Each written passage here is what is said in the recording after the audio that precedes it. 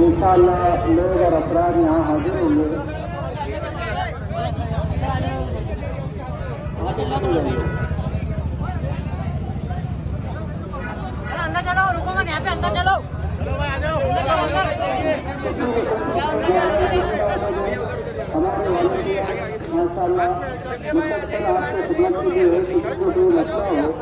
हमारे वाले हो तो हैं